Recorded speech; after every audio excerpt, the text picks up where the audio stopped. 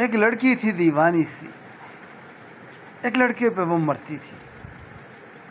वो उसे ख़त लिखा करती थी। शायद उसे कुछ कहना था। लेकिन वो कहने से डरती थी। एक लड़की थी दीवानी सी। एक लड़के पे वो मरती थी।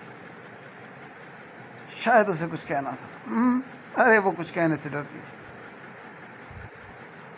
एक दिन वो लड़का गुरुकुल से बाहर निकला। हम्म, ये बेसिकली शाहरुख खान का डायलॉग है। गुरुकुल उसके कॉलेज का नाम था। गुरुकुल यानी कि कॉलेज एक दिन वो अपने कॉलेज से बाहर निकला और बस जा रही थी लड़कियों की और वो वहाँ खड़ा हो गया और उसे उसे वो नज़र आई और उसने उसने अपने जेब में जब हाथ मारा तो उसे कोई पेन कागज़ नहीं मिला। हम्म, तो उसने ज़मीन से एक पत्ता उठाया और उसने उस पर जाके लिखा कि अरे हम्म, ये क्या लिख रहा हूँ मैं उसने लिखा एक बच्चा जो पास से गुजर रहा था उसने कहा तुम इधर आओ और ये जाके जो पत्ता है ये जाके उस लड़की को देख के आओ। रास्ते में से उस बस से एक और बस उसके आगे से गुज़रती है और जब वो बस गुज़र जाती है तो सामने वाली बस जा चुकी होती है।